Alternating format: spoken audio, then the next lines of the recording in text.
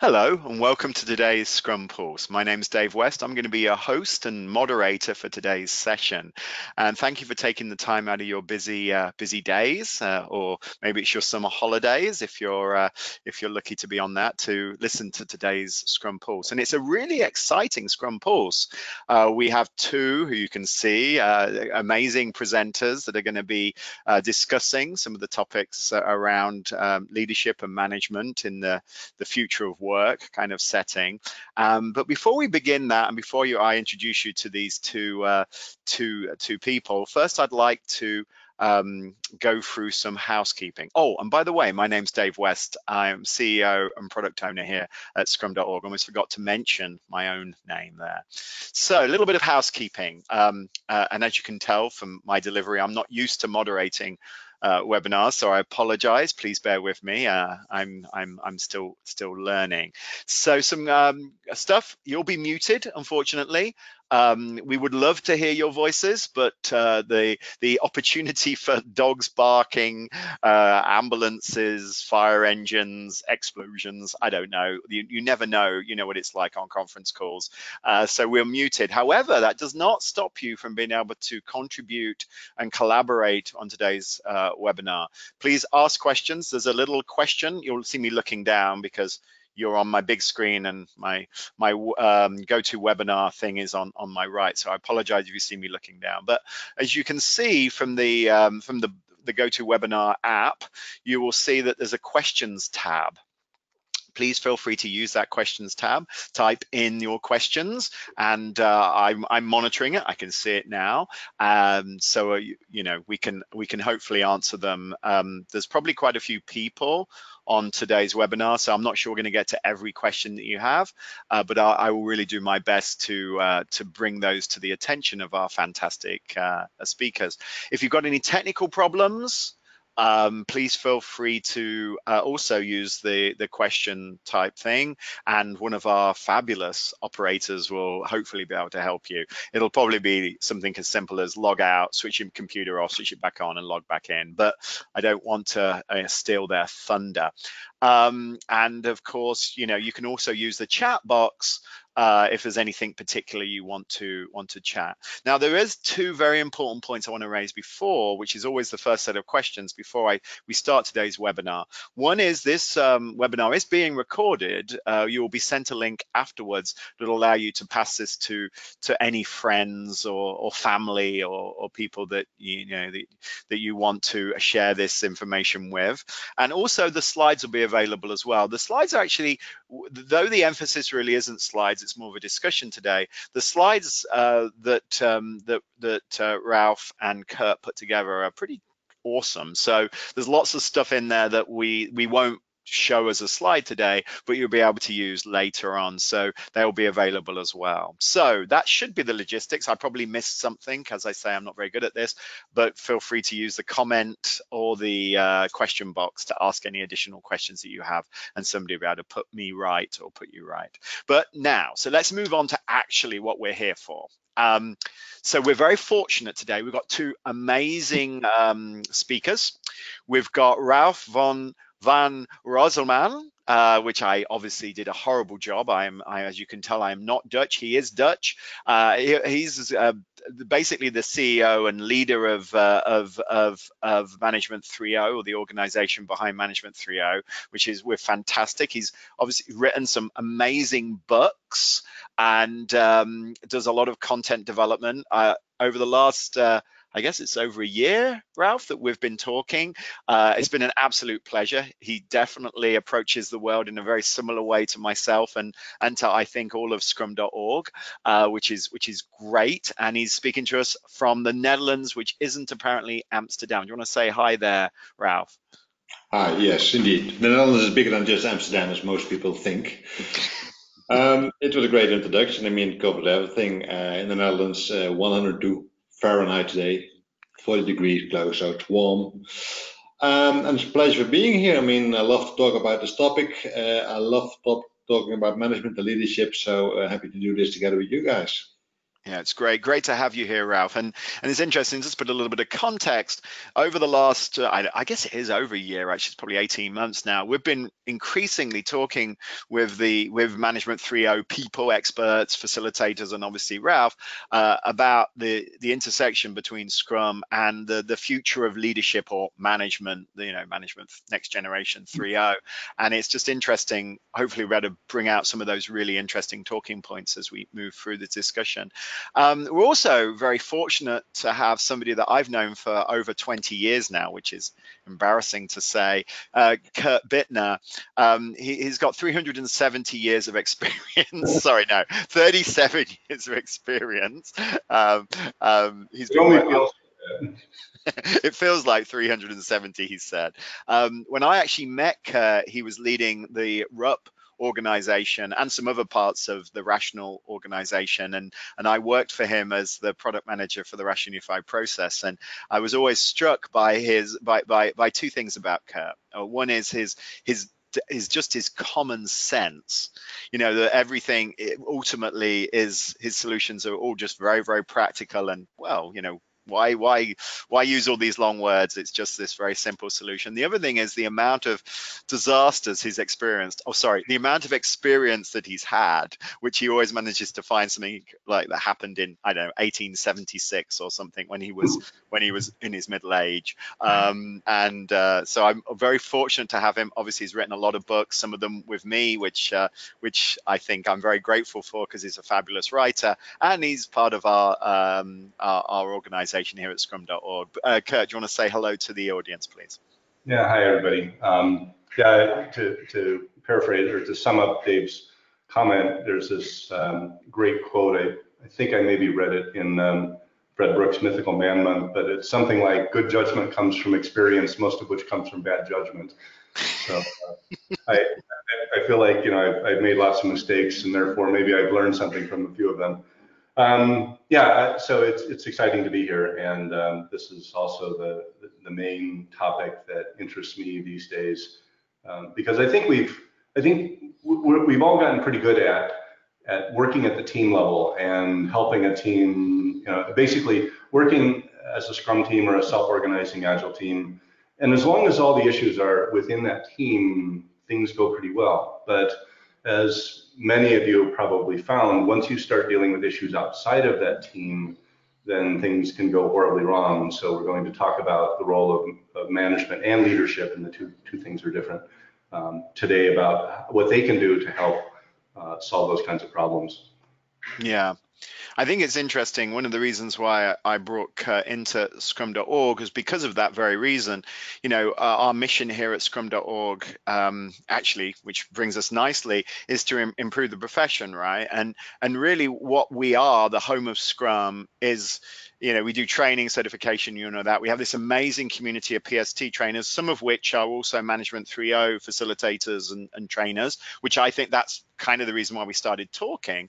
But what's interesting is that the, the, the, a lot of our success now isn't dependent on us getting teams to understand how to do Scrum or getting Scrum masters to be awesome. I mean, there are obviously challenges to that. It really is around the environment that those Scrum teams are, are working in. So uh, I, you know, brought Kurt into the organization to help lead that that work and to build relationships with fantastic thought leaders like Ralph and, and others to really start to help put content out and put materials out to, to solve that.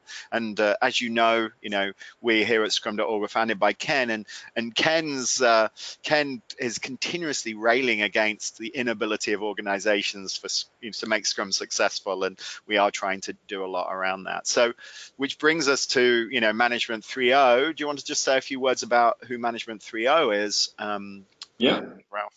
That started uh, with the book Management 3.0, Leading Agile Developers, Developing Agile Leaders, written by Jurgen Appelo in 2010. And based on that book and the feedback that he got, he said, hey, people want to know more about it. They want to learn about how to apply those ideas. So that's how he developed the two-day Management 3.0 Foundation workshops. Uh, he also wrote a second book about uh, managing happiness. And the first book, some people find is a bit theoretical. The second book is much more practical. And that were the starting points, those two books of Manage 3.0. Um, and nowadays we got 430 plus licensed facilitators all over the world, from Japan to Mexico and from uh, Canada to uh, South Africa. Uh, 25,000 certified people who attended the workshops. Uh, we're starting with a support community for people who really like to be connected to the brand. Uh, and it's still growing, and uh, it's now a lot more than just Jurgen Appelo nowadays. Uh, other facilitators are creating content, uh, as you said, uh, facilitators from Scrum.org, trainers are connected to the brand. So it's it's growing and it's getting more popular. Mm, yeah, I, thank you. I think one thing that's so refreshing about the ideas in Management 3.0 is, it, uh, yes, there's some conceptual ideas, but the majority of the stuff that you've produced, which I'm really, is practical. You can literally take this practice and do it now, whether it's a success, who knows? But you can at least do it and get going, and it, and, and it makes things more transparent in teams, and it cre helps create that environment using these practices and the ideas behind Management 3.0 that helps Scrum be more more more successful. So so it's great to have you in it, and, and the work you're doing awesome, and the diagrams that you create are both off scary in the case of this one, but also awesome as well. I love that. I think that just sums up management really. That that that that that picture. So now today's going to be a question and answer sort of uh, facilitated discussion between between Kurt and Ralph. And we've got some questions already in the hopper. I just want to remind everybody, feel free to add your questions to the to the question list. I'll try to bring them if, if we have time. If we don't, you know, we'll see what we can do with them. But at the start, I think the question that's on everybody's mind, considering it's scrum.org and Management 3.0 having a webinar is um, managers are not mentioned in the Scrum Guide. Does, does that mean, you know, and some of our agilistas in the community say first thing you have to do is fire all your managers, you know. So I guess Kurt, you start this, and I'd love to hear your comments after that, Ralph. Kurt, what you know, what what does this mean? Is this right? Well, I, I think that I think of this in two ways. One is that the, the Scrum Guide deals with a very specific challenge around how do you help a team organize to get work done by the end of a sprint. And that's challenging enough without having to, to describe all of the different permutations of the organizations that those teams could work in. Um, but the, the thing that is really essential that we found, and I alluded to it before, is that um, every team exists within some sort of context or within some sort of environment. And, and then environment is an organization that has a culture and that has processes and it has roles and it has human resources policies, as much as we don't like the word resources applied to humans, but uh, it, it has all of these things. And what managers do is essentially they create and sustain that environment. Dave, we just lost the screen. I know. I, I, that was because somebody asked a question and I clicked on something. Sorry, sorry, Kurt. I know you're in the middle of it. Sorry. Uh, but the important thing is that is that managers, in a sense, I, I like um, some some writings about um, the Toyota Way. Mike, Mike Rother's book, uh, the Toyota Kata book, um, is is interesting because Toyota characterized the role of managers as essentially the carrier carriers of the culture of the organization. And so, you know, if you think about the managers establishing the environment in which the Scrum teams work, that environment can be supportive or it can be antagonistic. And so this role of the manager, and, and we'll, we'll talk about the difference between managers and leaders in a little bit, but, but it's, it's really important for the success of the teams. So so to the, the, so the bottom line is that it's not in the scrum guide primarily because the focus of the scrum guide is about delivering valuable software or delivering valuable products or delivering valuable stuff through the increment etc and how to organize around that. However it's fundamentally needed right? So so ralph what, what's your take? Obviously you know a lot of the companies that you're working with are using scrum or, or some sort of agile method what do you get a pushback around just even the term management 3.0 in this post-industrial age? No, and I think it's one step back. It's about management and managers, and that's what we also talk about management 3.0. That we say that management is necessary. Uh, if you work in a small startup, you think about vision, you think about salaries, I assume, you think about hiring people, maybe firing people, and that's what we call management. But if you have a small startup of five people, I don't think you have managers on your payroll. I mean, you do you take care of yourself. I think that's a big difference that management is necessary, period. I mean, there's no organization without management. And nowadays, with all new frameworks, all new videos, we call them tribe leads, chapter coaches, agile coaches, scrum masters, product owners, but all those people are taking care of management. So, does, is manager needed? I don't know if managers are needed. We also believe that management can be done by a lot, a lot of people, many people. It's not just managers. So managers needed? I don't know. Could be. Management, definitely yes. It's just who's going to fill that role. And there we believe from Point O that everybody can take part of that management. Interesting. So, so ultimately, you're highlighting the difference between the discipline that is management, the skills necessary, the traits that you need as a as a person to do it, and the actual role manager. Um, the, is that needed? Is that not needed? Who knows? It depends on your situation, depends on your history, depends on your culture, which is similar to what you said, Kurt. But the actual, but the actual skills and the actual discipline is still incredibly important, which then nicely leads into into oops leads into two screens. I'm having a nightmare. It leads into um, the question. So what does it mean then? I mean, are, is, are we talking about leadership here? Are we talking about management? Is there a difference? What does agile? Is there an agile manager? You know, that's very popular in, in, in certain parts of the world that, that that role, agile manager, is on LinkedIn and Monster and all those sites. Um, is it is it more about leadership? Firstly, what's the distinction? I, I uh, Kurt, you you mentioned earlier you were going to talk about this, the distinction between management and leadership. I think Ralph really summarized the essence of it when he talked about many, you know, anybody on the team can do management.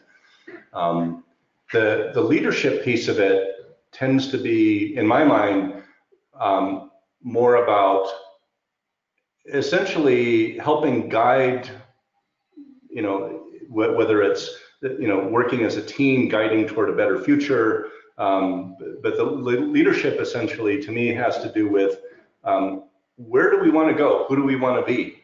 Um, how, how do we want to do those things? And helping to facilitate that discussion and helping to guide that discussion, helping to helping you know bring different perspectives to the table, um, creating a safe space in which people can have those kinds of discussions are, are all leadership kinds of things. So it's it's it's less about, in a sense, the tactical things of who's doing what today or tomorrow or whatever, but but in a sense, what kind of people do we want to be? What kind of team do we want to be? What kind of organization do we want to be, be? What kind of product do we want to build? Who are we? Who do we want to build it for? And and all of those, it's, it's essentially dealing with all the things that are completely undefined, um, and, and and helping to provide vision and structure to those kinds of things. To me, it's sort of the essence of of leadership. Um, it's it's it's bringing a chaotic, ambiguous situation um, sort of into under, if not control, at least under, you know, bringing it into a into a condition where we can deal with that chaos and deal with that ambiguity. Mm. So uh, I, I, know I've sort of waffled around the issue, but I, but I think that's what makes defining leadership difficult is because you're dealing largely with the intangible and largely with goals and aspirations as opposed to sort of the day-to-day -day housekeeping kinds of things that management in my mind tends to deal with. So safety, direction, space, structure are some of the words you use to describe leadership. Ralph, what would you say? Or firstly, do you think leadership and management are different? And secondly, what words would you use to describe management and management 3.0 type of management? Yeah, um, I, I, agree with Kurt, uh, although I think that can also be done by management, so it's more, more in the definition. And what does it mean to be an agile leader? I think everybody can be an agile leader also in his own area. I mean, if you're a developer, if you're a software tester, if you're a product owner, you can also develop a vision in, in where to go, how to develop your own area. So for me, it's not there has to be not one agile leader in a team, but everybody can be a leader. Everybody should be a leader. Um, and the second question of you, Dave, was how is it related to Manager Point O? Yeah, what what are the words you would use? You know, uh, Kurt used safety, he used direction, he yeah. used space, he used structure. Are they the same words that you would use, or are there different words that sort of define management? Yeah, I would think about purpose, vision, uh, where to go. Uh, lead by example. For me, a big thing is uh, that's what an agile leader should do. You should lead by example. You should be the first one who crosses the bridge, and then other people can follow. But if you don't go, then why do you expect other people to go? Yeah, I, I, think that's one really nice thing in the book that in the first book, uh, there was so many examples of, of Jurgen doing the things that he talked about um, not necessarily well sometimes. Sometimes I was thinking, well, I'm not sure I'd do it like that. But it, and no, that really did illustrate the environment that he was trying to create in, in the book. Hey, we've got a great question that sort of uh, from from uh, from Robert Robert Olivier, I think. Uh, I can't quite read from that distance, but um, how can we be part of? Uh, so, what does it mean? How can I be a good agile leader? Um, is it possible to be a good agile leader? We talked about the traits of leadership leadership. We talked about the the fact that there's a big intersection between that and and management. Uh, though there's obviously some practical stuff and management that sort of you have to do as well. Is how do you be a good one, a good agile leader? It's a good one. I think the most important thing for me is to take action, to do something explicitly, not just wait till things happen. I mean, I don't expect everybody to lead an organization of 10,000 people to be a good leader. I mean, as I said, in your team, you can be a leader. As long as you take action, you take initiative, you do something, you act on something that you see was wrong. And in uh, some frameworks, they talk about tension, but that's maybe it is. If you see tension, if you notice something is wrong, something is weird, you should act. And that, I think, makes you already a great leader. And you don't have to resolve the problem yourself, but at least bring it to the table and make an explicit table, an ex explicit problem that you can discuss it. Just don't let it happen and then looking back, oh, gee, that happened to us in, interesting. We talk a lot about Scrum, the Scrum Master role, and I, I, and there's been a number of questions about that role, about that the sort of connection with leadership. But the sort of one thing that's so important for the Scrum Master role is making things transparent. So when you say act, you don't necessarily mean do stuff in terms of because that can be quite disruptive and actually underpower the team. You mean sort of make if you see problems, make them visible, right? Make a visit and at least have somebody take action, at least bring them to the table. Exactly. Kurt, what, do, what do you think about leadership and what makes a good one? Uh, yeah, to, to build on top of what Ralph said, I think you know it, that taking action is really important. And what what's different with an agile leader versus a traditional leader is that the traditional leader might you know wants to take action, but their action is mostly in terms of telling other people what to do. You know, you need to do this, we need to do that, you know, so and so needs to do this, maybe they do some things themselves. So I look at the, the role of the agile leader as is sort of being twofold is that one is that they they identify some different place where the team or the organization needs to be but then the real difference and so that that happens in traditional leadership as well but the the difference in with an agile approach is that they then have to figure out how do they help the team move to that new place. And so, you know, what what weaknesses perhaps does the team need to address and how can they help them address those weaknesses? Or what impediments do they need to face? Or maybe what um, you know new skills does the team need and, and helping them to develop those new skills?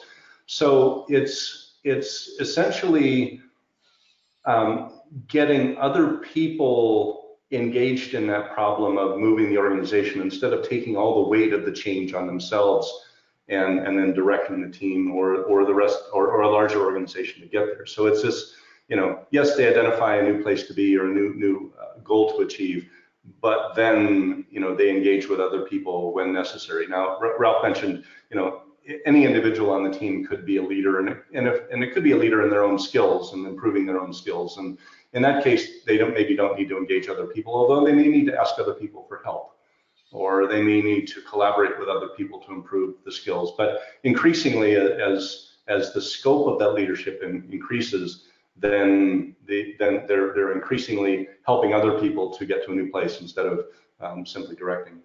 So there's there's a there's a thread of questions around Scrum Master. Obviously, no surprise, eh? Scrum.org. Thank you. Uh, we did kind of invent it with with um, with, Jeff, uh, with Jeff. Uh, so the term was coined. Um, is that both what you said, Kurt and Ralph, sounded ridiculously like the role of a Scrum Master. And that doesn't mean that, you know, I mean, on any good Scrum team, everybody's got a little Scrum Master in them, as well as actually a person being a Scrum Master. Um, you know, to sort of spread that the the the, the pain out a little bit. But is is can a agile is it an agile manager? Is a Scrum Master an agile manager, stroke agile leader? Um, sort of. I mean, part of it, I think. I mean, if you look at salaries, if you look at uh, rewards, incentives, that's also part of management. Yeah. Is that role the Scrum Master? Some say yes. Some say that Scrum Master can fire hire people on team. Some say no, it's something somebody else should do. Uh, develop competence. Is that something that Scrum Master should do? I mean, there are different opinions about it, so I don't think there's one answer to cover everything. That that explains everything. And some organizations, Scrum Masters will be responsible for or helping people to develop their competences make skill because you want to improve your team.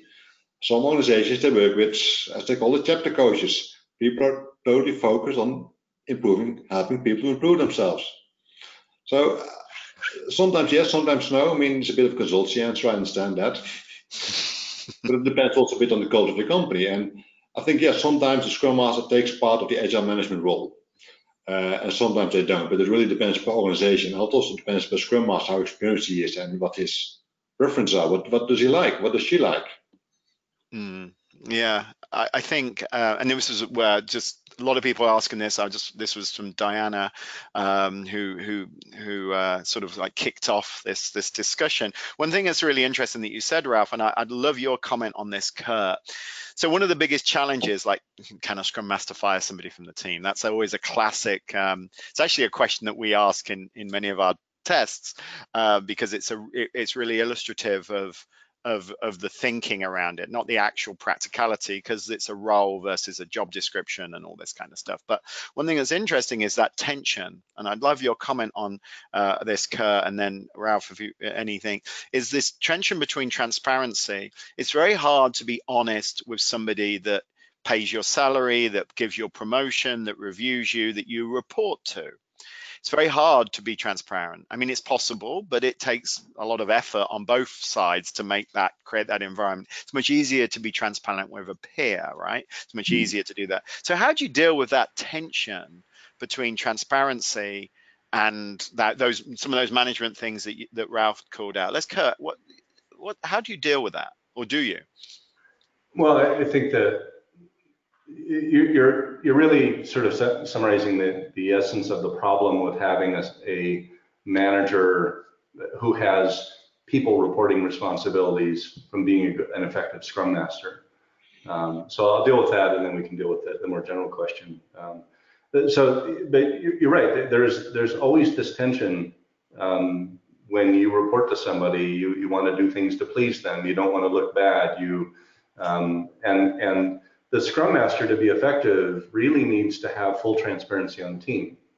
And so if they have, you know, people management responsibilities, they are not just out of just the way our brains work. Um, they're probably not going to get the kind of transparency that is really going to help people develop. They're going to, you know, potentially hear what uh, people want them to hear. So, you know, the, the Scrum Master, sort of to, to generalize the, the discussion, you know, they're responsible for helping the team do Scrum well, you know, and to, you know, improve their skills and to provide feedback. And, you know, it's it's difficult for them to do that if they're if they're have people management responsibilities.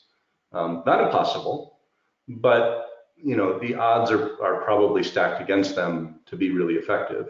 Um, so they might be able to be very effective as a scrum master for a different group of people that they that don't report to, to them, but they but within the people that they work that work for them, um, very very challenging. And the other problem that that you often have when you're transitioning to different roles is that you often carry the baggage of your old role. So you keep even if you want to work differently, people keep reacting to you in the same way that you know if they're if they're in the same role that you were in before.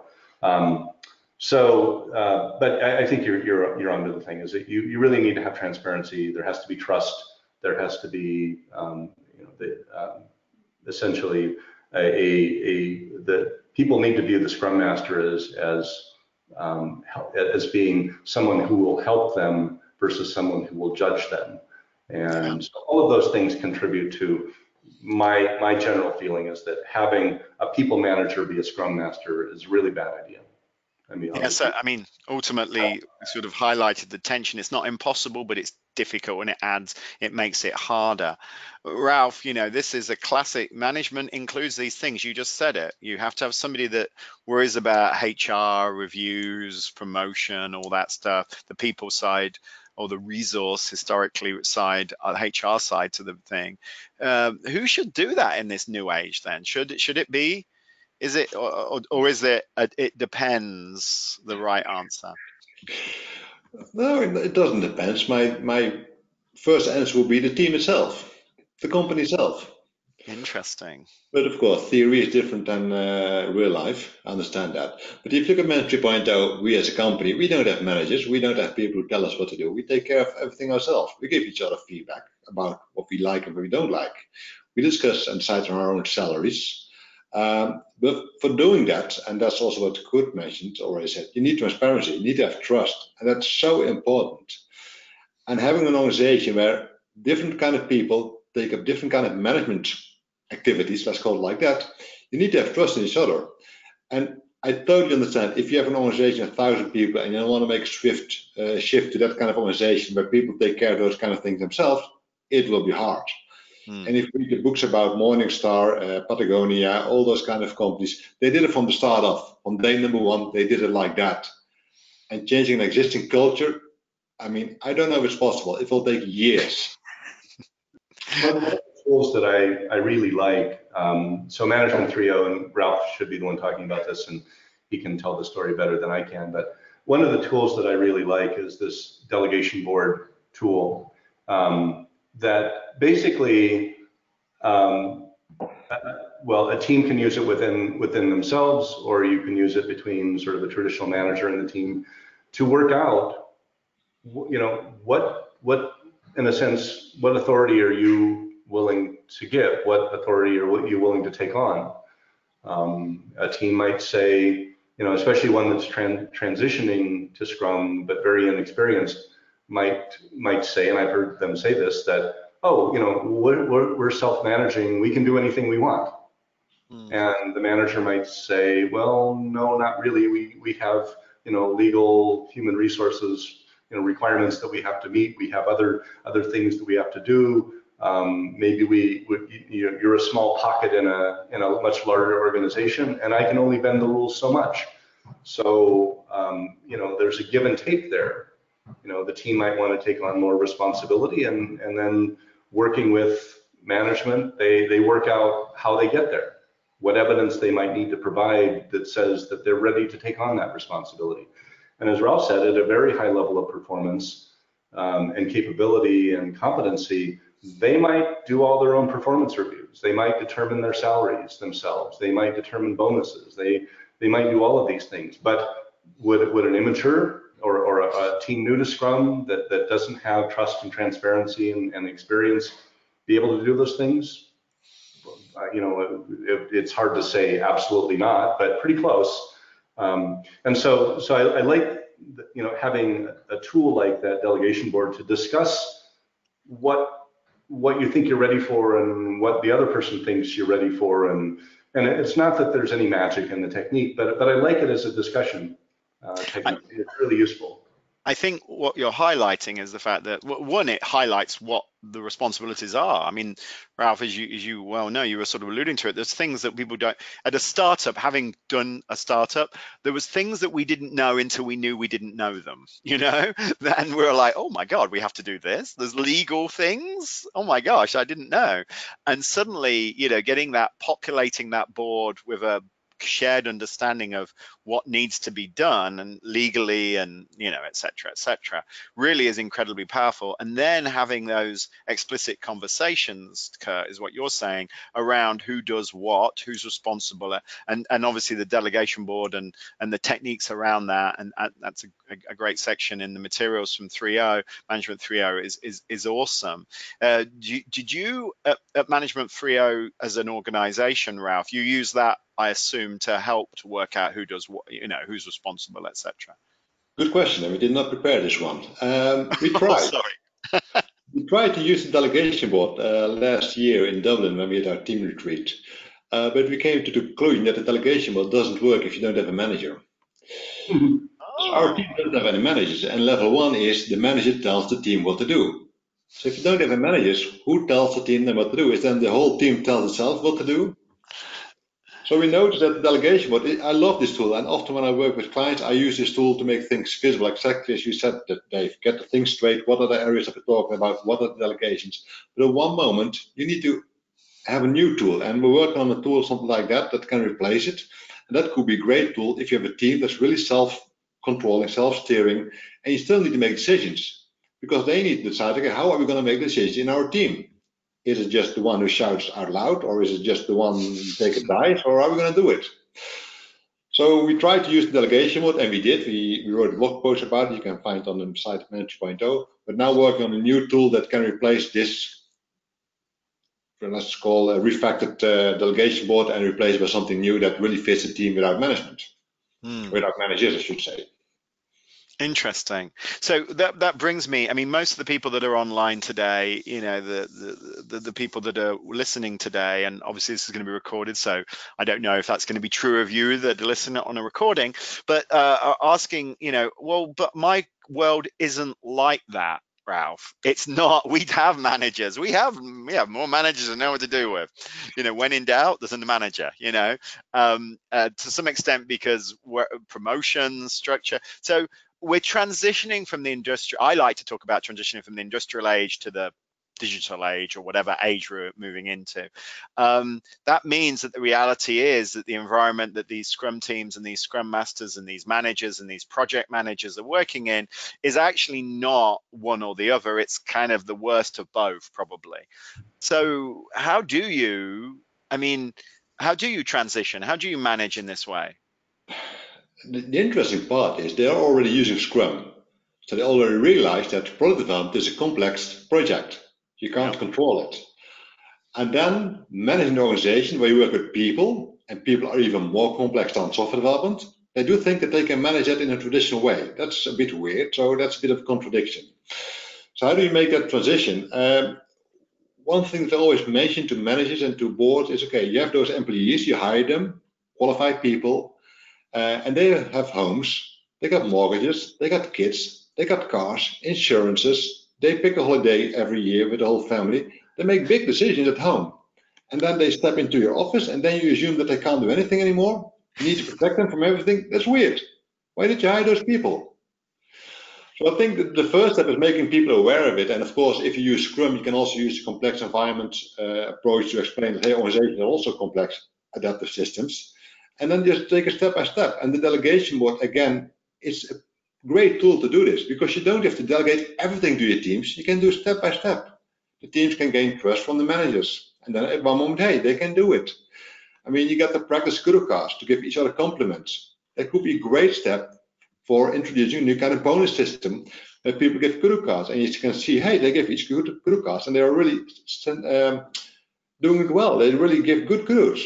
So maybe we can also change the bonus system slowly. I mean, you don't have to do everything in day one because it won't work. But step by step, taking the organization by the hand to become this new organization. Wow. So actually, I think you highlighted something, Ralph, that I just want to make very clear that that many of the techniques, practices that Management 3.0 um, teaches and that's in the books and available are very much transitional techniques because what they do is they make things, as Kurt described the delegation board, they make things visible. You, then you make explicit choices about how far you go down one way or the other and by doing that, you ultimately incrementally change the culture of the the organization. And maybe one question that you already got or somebody asked is how do I scale up with Management 3.0? That's a question that often get. How do I scale up to 10,000 people? And I thought about it and then I realized not, you don't scale up. Because a lot of things in Management 3.0 are about transparency, about trust. You need to trust each other. If you, in the end, are going to decide on your own salaries, you need to have a certain level of trust. And if you have an organization of 10,000 people, it's hard to trust 9,999 people. so you need to keep your organization small. Uh, business units of 50, 100, 150 people, that's the maximum. And then maybe see, hey, can we split it up? Can we make a new business unit, a new unit, whatever?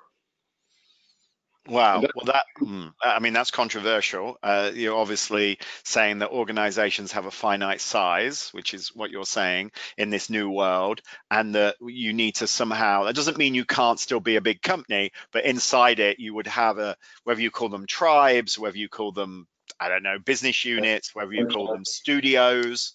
You would have these different mechanisms, and potentially the culture inside those units would be unique to those units or those tribes yeah. or those whatever. Kurt, do, do, you agree? Do you think? I mean, obviously, uh, John Kotter talks about this in a similar way in his um, uh, in his latest book.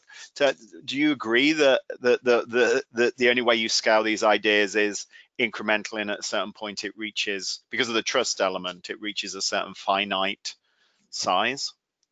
Um, so there's certainly some evidence of organizations that are quite large that seem to be fairly agile. Um, so I, I, think the most of the organizations that I've seen be successful, um, it's the, this agility exists within a particular product or it exists within a particular group. Um, I, I haven't personally seen any organizations which are 100% agile across the board. And, and some of that's because not all of what, it, what a large organization does is in what we would call the complex domain.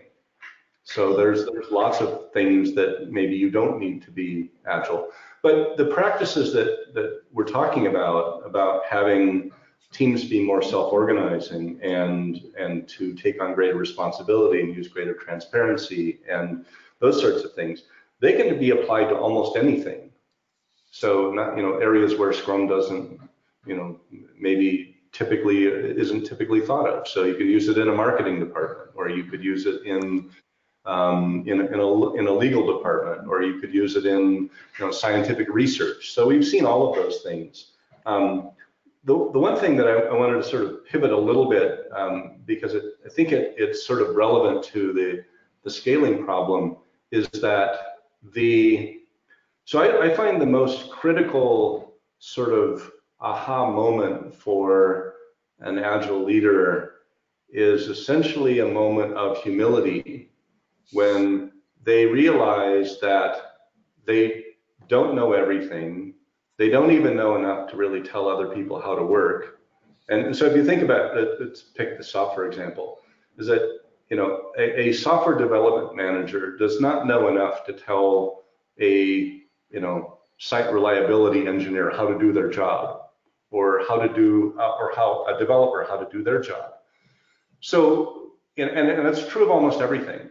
You know, it's true in, in, a, in a, you know, even in factories where, you know, maybe the factory foreman, they have a vague idea about how the job is done, but they actually don't, unless they come up through the ranks and done the job, they, they haven't done it. And even then it changes. So it's changed since they used to do it.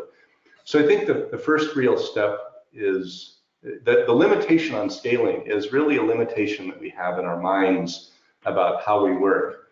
And so the first thing that, that an agile leader needs to do is have a certain degree of self-awareness, recognize that that they don't really know how to do this stuff, but they do know a lot of a lot of things that can help a team. And they, they know, so, so for example, you know, um, I, have been scanning some of the questions, and one of the questions that was interesting was, um, you know, well, isn't the Scrum Master supposed to basically provide this environment in which the team works and all that? And yes, within a certain degree of scope, but there's lots of things that aren't in the control of the Scrum Master. you know, like organizational policies or maybe dealing with shareholders or, you know, dealing with other people. So, so these these leaders in different, you know, so we, we talked before, anybody could be a leader. So if, you know, each each leader has some little bit of expertise that they know how to help with. So in a sense, it's an extension of, of the team is the same way. You know, now everybody on the team can do the same job, but everybody has a bit that they can do to contribute. So the, the challenge for the leader is to basically, you know, start with humility and then um, say, what can I do to help here? And and then start to think and and using that to change their attitude about how they work with people and recognize the limit of their own their own abilities. So this sort of extends from that idea of the delegation board is that the manager, you know, has things that they're doing today that maybe they're not they're not the best person to do that. Mm. And maybe they need to find who the best person is and help them to do the job. So so I think it, it you know everybody you know needs to come up with a approach this with a certain degree of humility, a certain degree of self-awareness, and then say how can I help you know achieve, help us as a group achieve our goal. Um, and is there a limit to scaling that? I don't know. Probably not. But you know, you have to start with a team, you know, an individual team working together to achieve something, and, and then go from there. Maybe it's then adding teams, or maybe it's expanding the scope of what what your mission is. Okay, so um, I realize we are moving on for the questions, so I should probably move on to some of these other questions. We've sort of talked about authority uh, to help a team grow.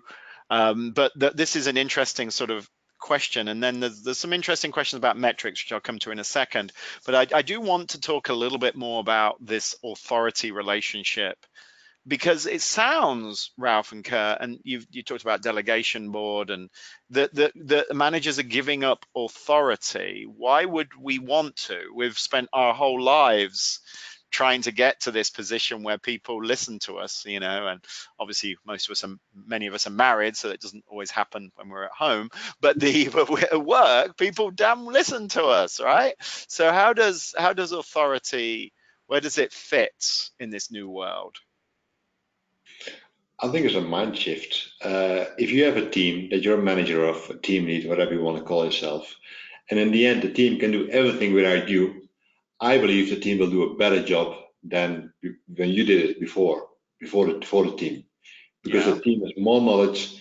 They got nine, seven, I don't know how many people in the team. They got more knowledge, more experience together. They will come up with better solutions. So if you give your authority to the team and you help them to grow their knowledge in the areas that they need to grow, they will make a better product. They will make better decisions. And in the end, and that's important, you as a manager, you're accountable. And if this team performs very well, they make great decisions, then also you're accountable for their success. And you will get a new team to do the same trick again. So I think that's in for them. It will give you recognition that you're a great manager because you did it. You made the team better just by putting them on the front line of work. So you so you're basically saying as long as you're ultimately motivated by the ultimate success of whatever this team is responsible for delivering, whether it's a marketing campaign, a new product, whatever, that, that ultimately that this model will make you more successful. Therefore, this traditional authority won't help. But it sounds a bit scary, right, Ralph? I mean, you've got to kind of like you call it a mind shift. It's the sort of like it's a bit risky. I mean, I have two small children at home. There's many times I give up traditional authority to them, and many times I'm disappointed by them. So, um, you know, is this is this wrong? The other way around. If you would make all decisions for them, will they grown up to become good adults? Yeah, but it's that scary moment, right? And that's that's the thing about trust. I mean, as a manager, you need to give trust to the team. And I've been I've been a manager, and it's difficult. It's scary because I know one thing. When I do it myself, I know I think it will be done better, but at least I know how it will be done. I'm not saying it is better. I don't think it's better in the end, but I know I got control. And you need to give up control, and that's scary. And if you don't want to do it, then yeah, don't give it up. But then I think your team will not perform as best as they can. Yeah, that's a good point. I, think the analogy with um, with sports teams is interesting, um, and and also dangerous to extend too far. But if we look at the role of a coach on a sports team, they're not actually doing the work of the team. They're helping the team to improve. So they have the insight. They they know enough of the of skills and the performance capabilities of the individuals, and they can also see how the team works together. But you know, in many cases, a coach, you know, a great coach wasn't necessarily a great individual player, and and and even and today, most coaches, you know, they couldn't they they're too old. They they couldn't go out and play at the level of, of their team. But you know, we, we have yet to really evident, see evidence of a 100% self-managing sports team that's won a major championship. There's always a coach, and and and what I think the difference is, uh, or, or the analogy to to management is that you know someone outside the team who's helping the team observe where their capabilities are can help that team to improve in ways that the team itself can't see. We all have blind spots. You know, we we have uh, you know we have these cognitive biases that you know where you know we might think we're wonderful, but in reality we're not. You know, where we have areas to improve. So someone who has the trust of Uh, of the, the the people on the team to give them honest feedback to help them improve is usually really appreciated. Uh, you know, a great a great a sign of a great coach is that the team members themselves think that the coach really helps them to achieve better things. So it's it's not the, the coach dictating saying do this, you go here, you do that, but rather you know most most coaching happens in, in essentially training, not not actually on game day. So um, I, I, you know again there are dangers of extending the, the sports analogy too far, but I think that that analogy to think about the the evolution of the manager to more of a, a coach and facilitator and someone who helps people develop and helps them, them reach their true potential is is more where I think the the the sort of where leaders want to get or need to get. Mm, interesting. Obviously, as a Leicester City football fan, uh, where we won the championship with perhaps the most self organizing and certainly the cheapest team in the Premier League, I would like to attest to traditional authority. The, yeah, it's amazing when you give it up and how empowered the team is. Unfortunately, then it's very hard for the next coach to come along because they they understanding their role in that team that's function fully functional is very, very, very challenging, as proven by Leicester City. Sorry, don't mean to rat hole on Leicester, even though it's the greatest football team ever. Um, so, so there's there's lots of questions around metrics. So, you know, traditional, you're giving up authority, your team's growing. How do you measure it? How how do you measure in this new world? Um, you know, Ralph, the, the, the, how do you measure to the to the success? I mean, surely there's you've got to make things transparent to help you make the right decisions, to point us in the right direction. How, what are the measures that make sense? Yeah, I mean, measurement, yes, still also in agile organizations, you measure stuff. I mean, if you don't measure anything, you don't know where you're going. So that's still necessary. I think the big difference uh, with traditional organizations is that you disconnect your measurements from your rewards. You disconnect metrics from money. You disconnect metrics from bonuses. Because the moment that they are connected to each other, people will gain the system, people will make the bonus a target, and therefore the metric a target. I think that's the biggest difference that you have to do. Uh, in Management 3.0, we have two practices. We talk about OKRs, invented by John Doerr yeah. uh, that we explain to people. It's about stretching organization, learning objectives, and not punishing people, not rewarding people based on what they realize. And still gives you good insight are you on the right track. We got a scoreboard index. That's another practice where you just collect a number of uh, metrics and you just see them over time. What is the trend? Are they going up? And you combine a lot of things. And it goes too far for this webinar, but we have 12 guidelines that we think should be connected to good metrics. And that's, for example, don't connect them to rewards. Uh, uh, experiment, change your metrics, because we all know those metrics, those reports, that after five months we can send them again to our manager and nobody sees the difference. yeah, so, I. The metrics are still possible and it should be transparent and you should show people what you measure, but still in an agile organization it is necessary to measure stuff. You, you, you want to know if you're improving. You should be focused on improving.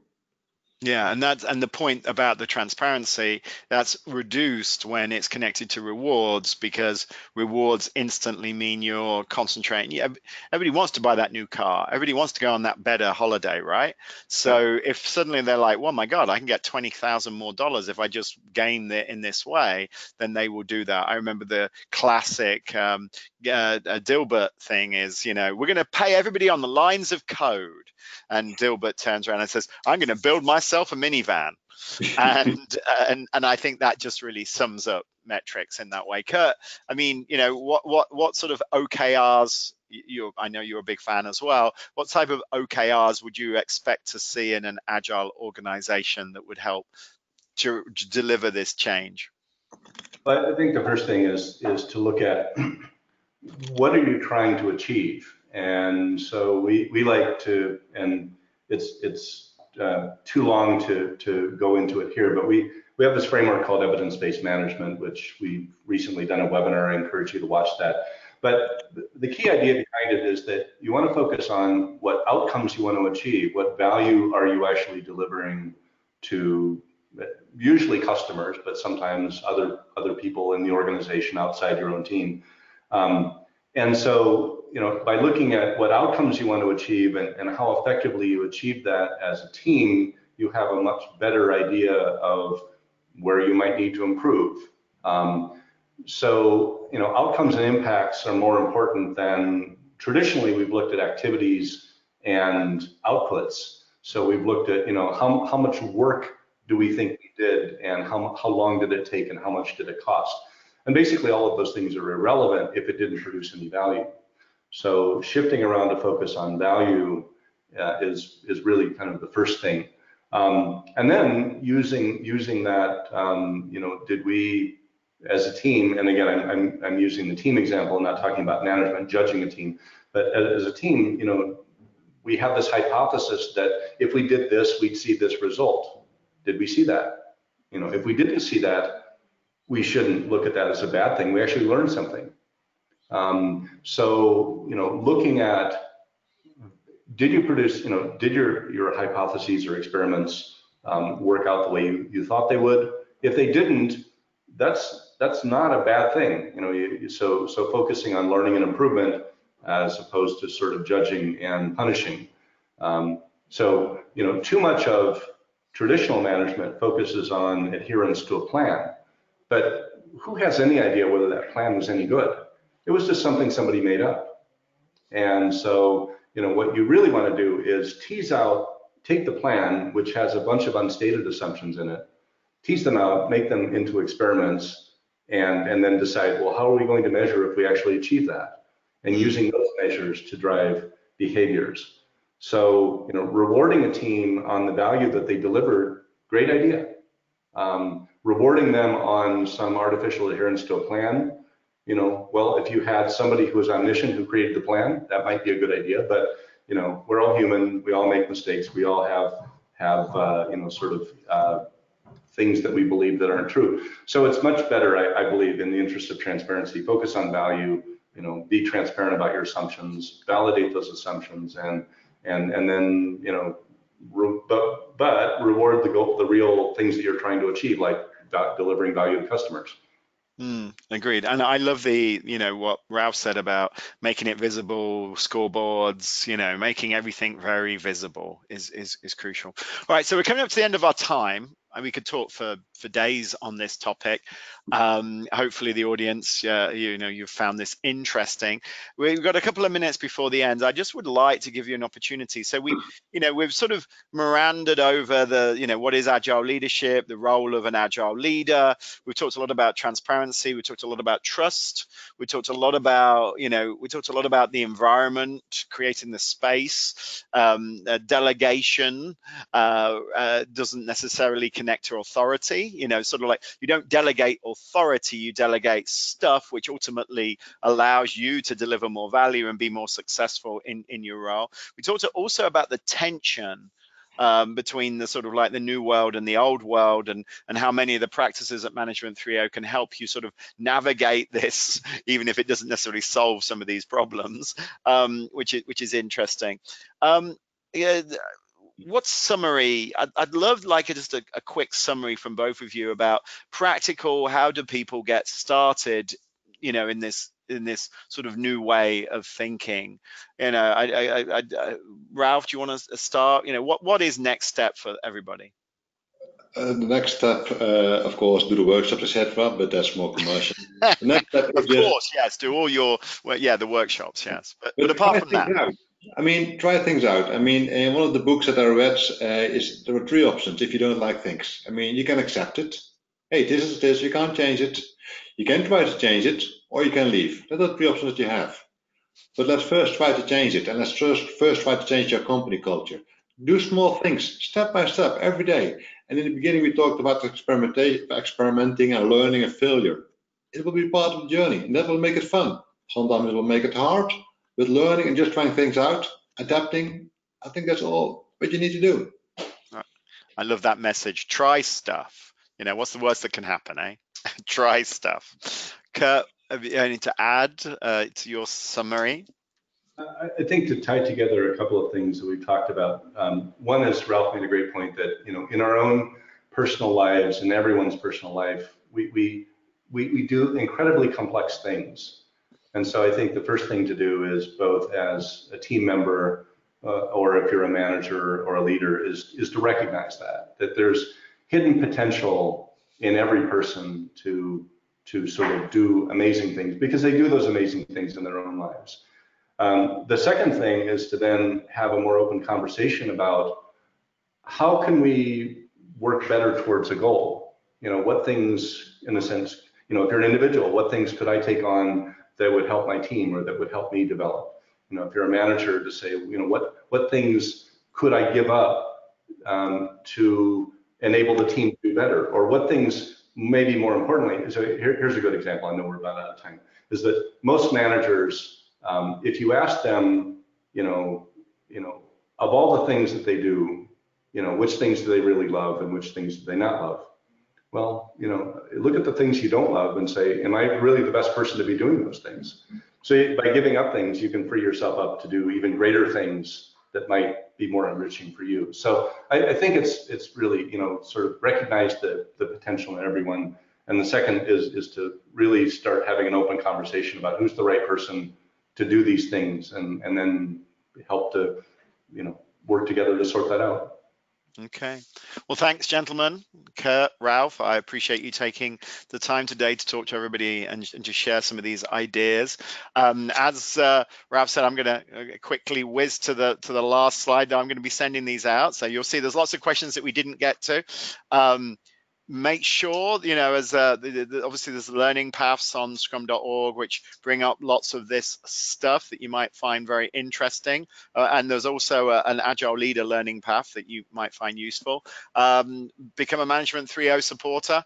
Lots of materials there for you to download. Lots of great materials and also some amazing cartoons um, which is which is great. And of course you know there's opportunity the, the, the workshop uh, which Ralph mentioned mentioned before uh, and you can also connect with Management 3.0 and add more content, help them get better as well, and obviously connect with scrum.org and help us get better every day. Thank you for your time. Thank you for your attention. My name is Dave West. Um, today's been interesting. I've learned a few things and some other great stories to share with uh, with my uh, friends and family afterwards. Uh, and um, have a have a great day. Thank you. Bye bye. Thanks, everyone.